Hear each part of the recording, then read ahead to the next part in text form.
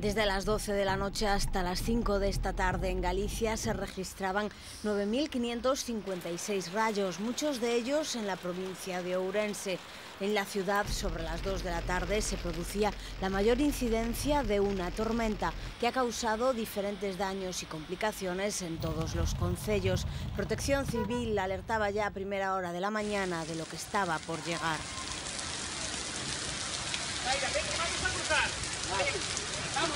En la ciudad, conductores y peatones se encontraron con la red de semáforos fuera de servicio en numerosas calles.